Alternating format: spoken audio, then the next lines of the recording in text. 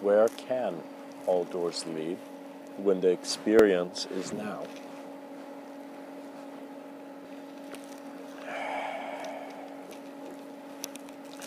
In life, you go through many positions where you life asks you to be a leader, or life is giving someone else the chance to be a leader and is giving you the chance to be a follower. This does not mean that you must be bound and enslaved by an ideology of someone controlling you.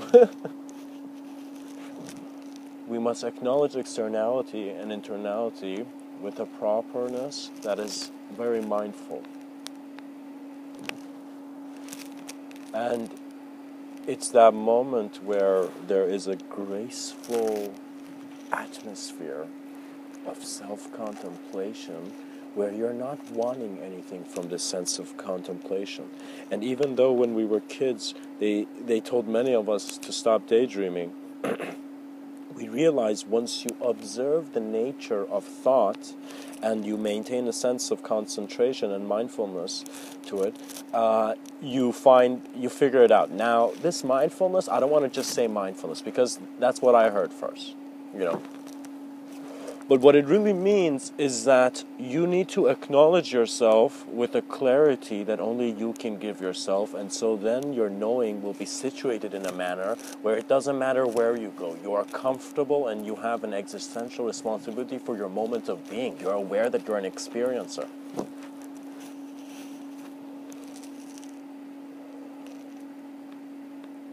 What that means regardless of how much the moth flied in the burial grounds,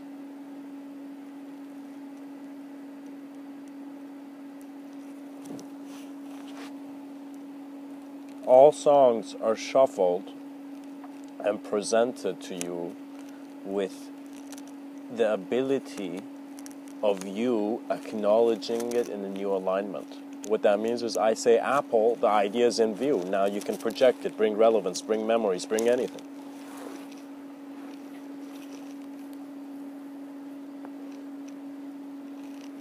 And there's a very burning passion. What that means is we're not what that means is we're not here.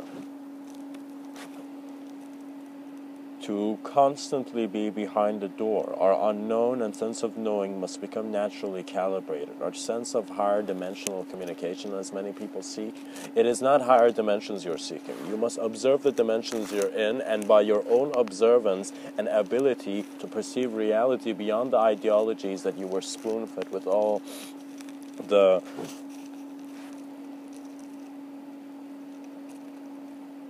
cultural and social programming, regardless, every man at the end of the day can take off his suit and put it in the closet very comfortably.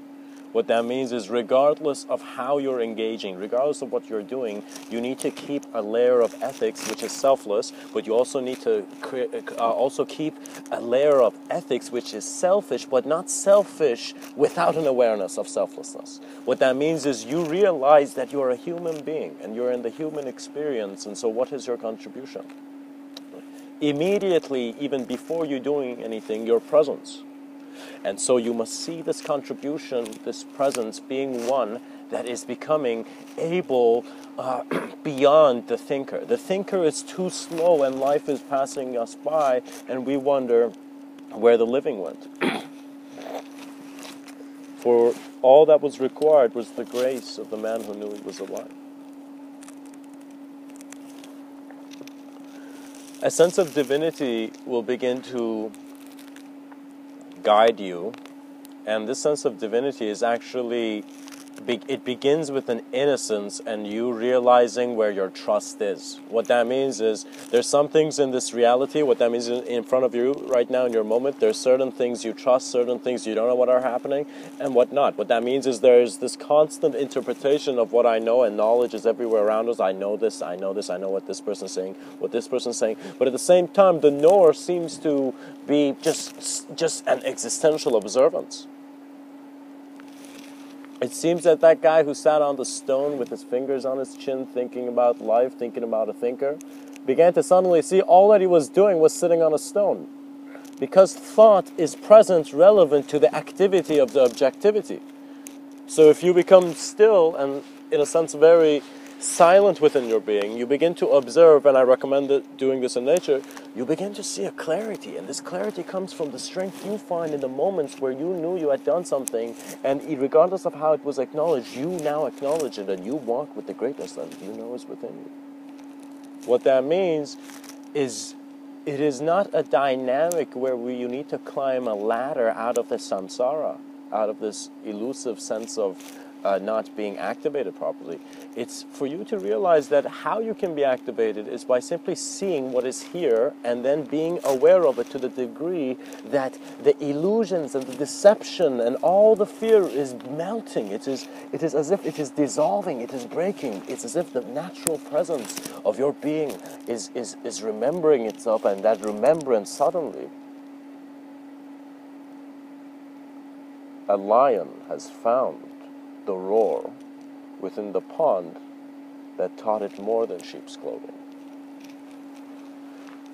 Regardless of your garment, of how your moment is manifest. The fabric of the cosmos is weaved in such a way that there can be no opinions, for all opinions become so infinitesimal. To the observance that can go beyond a sense of space and time and even having form here.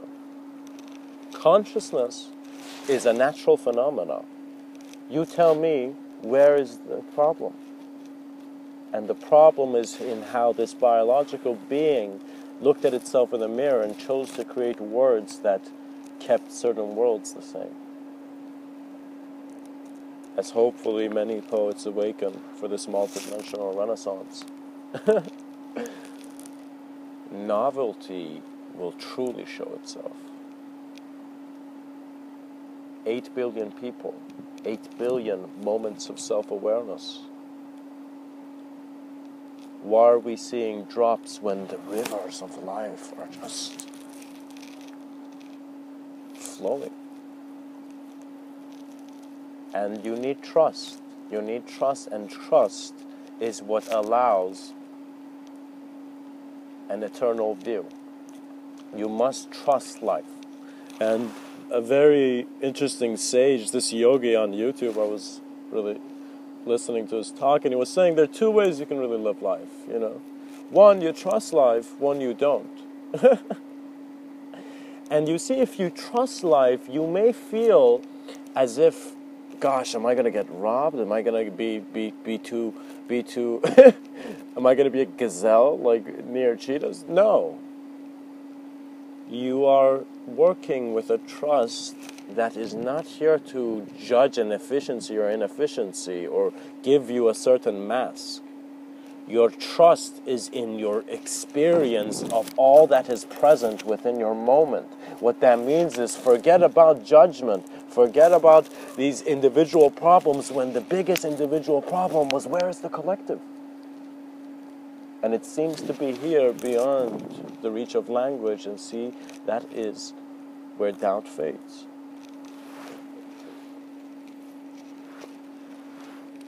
For the grace of a blind man, was that he walked further than anyone else to see. And if you acknowledge these moments within you, these I don't knows, these realities you are saying I am in, and you bring it in front of the cosmos, and just like how you would perhaps, out of a chaotic sense of revelation, rip out the tablecloth that had maintained your structured lives and so you begin to see suddenly there is not an anger, there is not an anguish, there is a transparency. The, the, the self has broken and the selfless has stood. This knowing means that ideology does not need to bully you. And how does ideology bully you? When you think you are the idea. For an idea can be judged the minute you bring it into the realm, with the minute you bring it into the plane of existence, even what er, you will see life crumble that which chooses to segment itself. Because where else can the nature be real? Where else has the being allowed itself to see self awareness beyond space and time?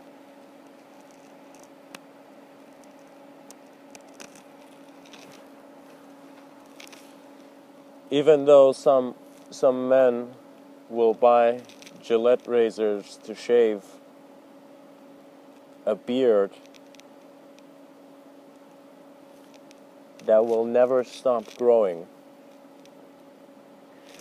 The wisdom that is in your natural phenomena is your guidance to the greatest view beyond any door. And I remember myself being very young, and I go pick up this notebook and I just begin writing the first article I, I, I believe I ever wrote in this life. And I, I wrote The Mind of the Exceptionist because I wanted to get a sense of what the exception was. And I noticed later on because the article I wrote then, I, I described the mind as having something having many doors, and we have access to many keys, but we need to find the proper alignment, something like that, right? I was very young, of course, very young. I think I was, uh, I think I was nine or ten. uh, but after I wrote that, I later on realized, years later, that how you are naturally designed and the walk you have lived is constantly providing you the next moment properly. What is improper is how we react to the moment, and in that we are not condemned by an external reality, but by an internality that knows that it has created a self so cruel that mankind seem to have forgotten its kindness. But we will see a new occurrence will bring such a current. What that means is you don't understand the power of an existential mirror. You don't understand the power of just for one moment going in just nature or in a park somewhere or sitting beside a stream and just closing your eyes and being silent and still. And then gently opening them and just observing the nature of this world. What that means is don't go to Google. Because Google was made by man, and you want to know beyond man, so you must work through your experience, and sincerity and honesty will guide you. And in that moment of stillness and silence, you will not get a very new wisdom of self, but you will find that once the ripples on the pond have settled,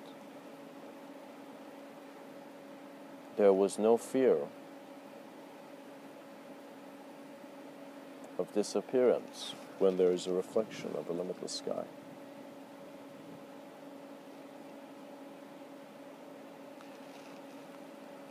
In your knowing, you are the freedom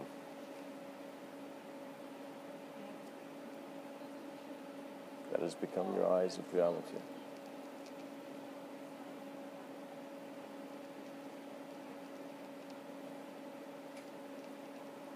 With the grace of our greatest leaders, with their inspiration. Right now, what that means is visualize the greatest men of our time and the greatest men in your awareness, in the edges of your mind, the greatest leaders that you can bring, in whatever sense of uh, imaginative view, and see them behind you, see them walking behind you, and see their words guiding within an integrative movement of all that you know, taking a step into the unknown, which is an eternal moment of novelty.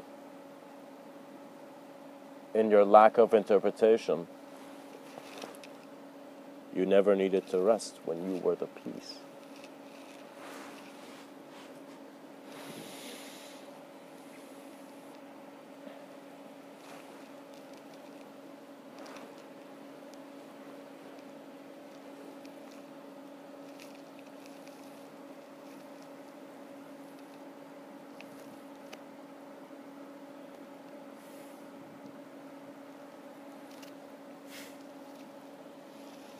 And something I would like to share with you. Is this quote by a man named Rabindranath Tagore. And of course, I'm sure there's there's a more accurate version of pronouncing his name. But this man had such vision. And he says, I slept and dreamt that life was joy. I awoke and saw that life was service. I acted and behold, service was joy.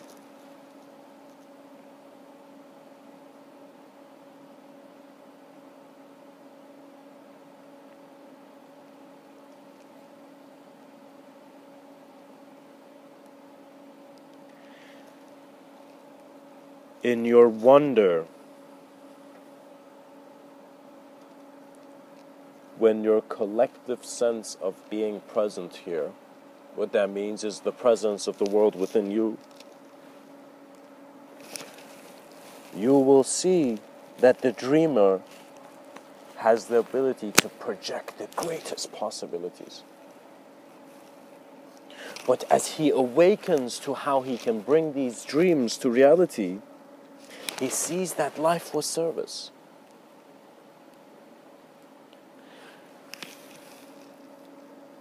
And he, when you act, and behold, service was joy. And so, Tagore goes on to say, I acted, and behold, service was joy you begin to realize that your sense of objectivity and physicality and externality and idea of your name is here to serve others. But in serving others, it would experience a joy which would be that moment where you have not just lived as one human being, you have lived as humanity. You have lived as all that is, and your intentions were clear. Service was joy. And this is, of course, a lesson which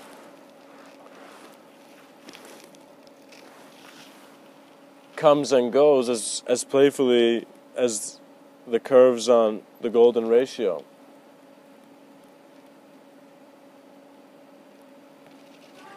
That when we live to serve through our whole intelligence of our moment all that our moment can be when you honestly and clearly present yourself within the presence of this universe. Your sense of knowing will be transcendentally situated in a manner where you will see beyond the act you have done. And so, beings who are able to see beyond the act begin to see that there's not only a presence of infinite possibilities of other actors and spectrums opening up in your vision, but that beyond the spectrum, even infinity, bowed down on the grounds of non existence to then appear within the novelty of the awareness that is now you.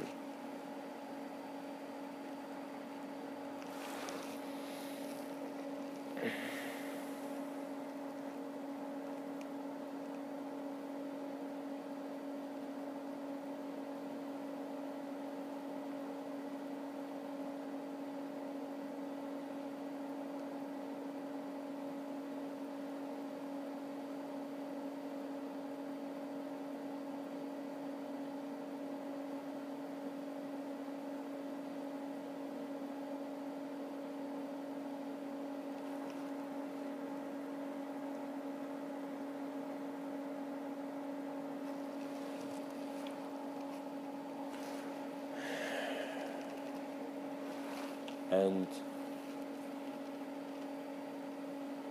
in how life is aware of life.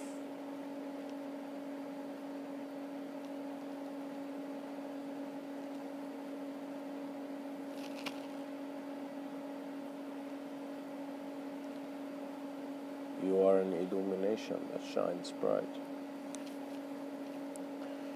Rabindranath Tagore has another beautiful quote, and I would like to end off with the wisdom in his words.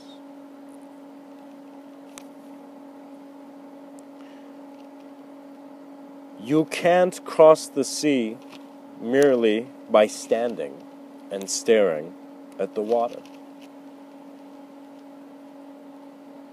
You cannot live well without stepping through all doors of limitation and in getting engaged with life in a manner where there is not a sense of individual judgment, but a constant recalibration of a sense of being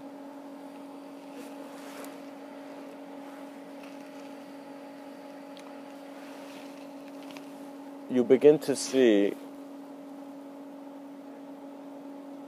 the drop was never the drop when it was the ocean. And we are present in this ocean of consciousness.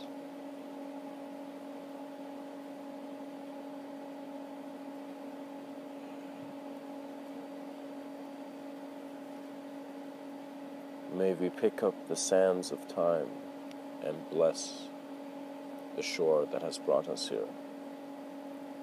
It is time to explore the hidden depths of the nature of all existence and do this gracefully, naturally, compassionately. You're not trying to get anything out of this. This is your sense of self exploration. This is your elegant approach to meditation. But not a meditation that is not meaningful. A meditation in which you see everything in your life has brought you to this moment to bask in the greatest wonder known to man. Man judges himself through his knowledge and through his knowing and through his sense of certainty. I'm this, you're that. But some men look at the nature of where man's knowledge is, and it is basking in the unknown, and the unknown does not judge. For chaos has always been dancing with order.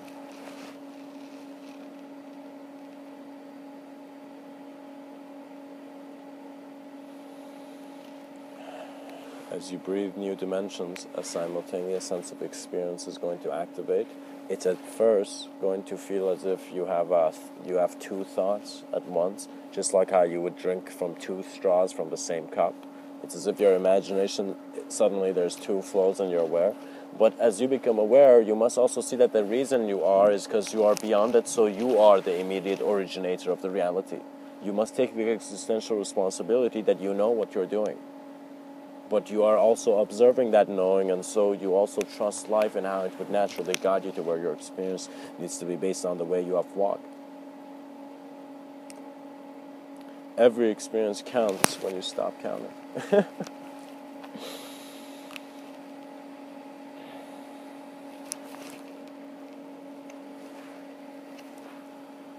As we dissolve into our last stare. May we wave beyond time and space. Much blessings and namaste.